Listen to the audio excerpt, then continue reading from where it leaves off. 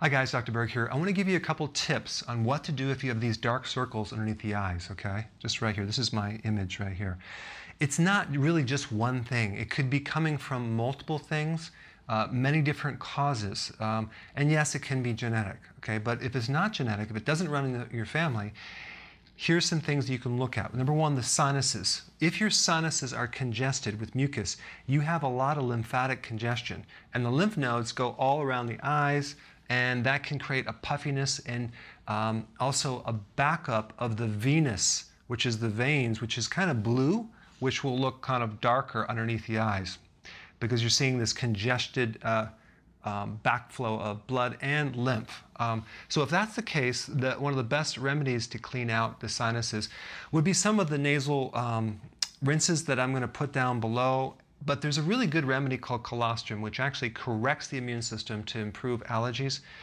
Um, and I'm going to put a link down below of some data on that. But there's a, another thing too that you can take, which is Mormon tea.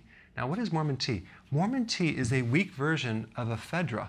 I don't know if you heard about ephedra. They took it off the market because it increases adrenaline. Um, but honestly, the risk of that is so, so small compared to even aspirin out there. The amount of benefit that it did for people with sinus congestion and lung uh, pneumonia and asthma and bronchitis, I mean, it's very, very effective. It's been used for over 2,000 years. Um, but of course, you can't patent it and it's very inexpensive. But if you monitor someone to make sure they don't have high blood pressure and you don't take it when you're pregnant, it's totally fine. But Mormon tea is a really good thing to take in the early part of the day to actually uh, handle a runny nose and to get rid of congestion. Okay? And of course, the diet. Make sure you're not doing any uh, milk products. Um, that could do it, or any wheat products. Those two will definitely back up the sinuses. And one more thing, too. If you ever go out to a restaurant and you eat something with uh, meat and sugar, or like anything like a bun and hot dog, or a burger and a bun with fries, or a Coke, you are going to create a lot of sinus congestion from that, and that could be one of the causes too. So as you clean up the diet, this will clear up too. And then we get to the liver, okay?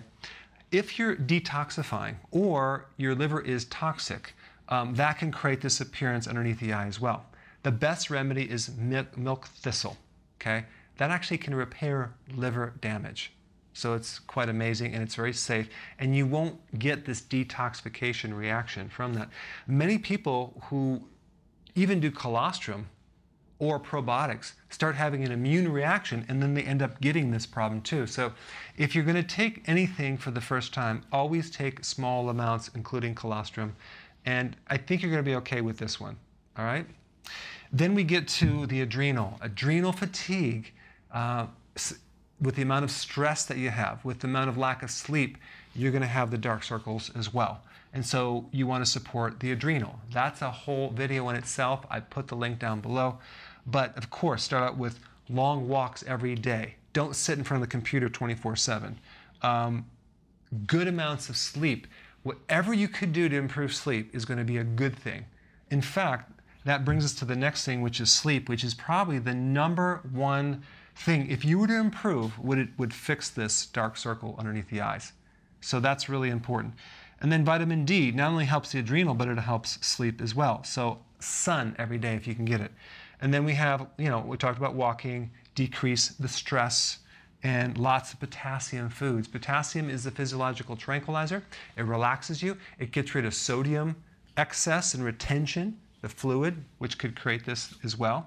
But mainly the, the sodium potassium ratio issue, if that's a problem, will create bags into the eyes, not necessarily discoloration. But we want to get you to sleep, okay? So I'll put some links down below. And then allergies. If you are allergic, which kind of gives us, puts us in this category as well, um, high levels of vitamin C would be very beneficial for allergies. And also colostrum is another thing that actually corrects allergies as well. And there's other things too. I'll put some other links down below. But what you want to do is you want to just see if there's anything that kind of pop out for you and focus on that part right now. Um, but the lining of the skin underneath the eyes is very, very thin, and you can very easily see um, all the different, uh, the venous um, pooling in there, which is blue, but it shows up as a dark circle. All right? So try some of these and put your comments below. Thanks so much for watching.